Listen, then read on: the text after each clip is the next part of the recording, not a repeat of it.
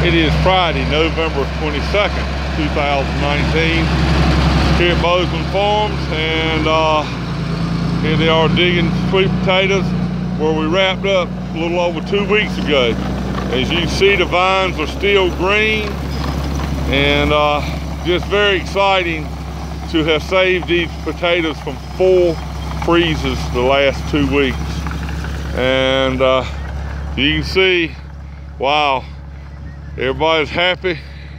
About, about 90 men out here and they know they're getting ready to go home uh, and take back some good money to the families because they have sure worked hard for it.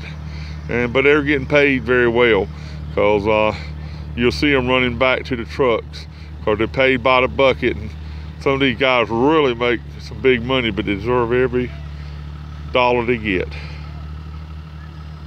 A wonderful job.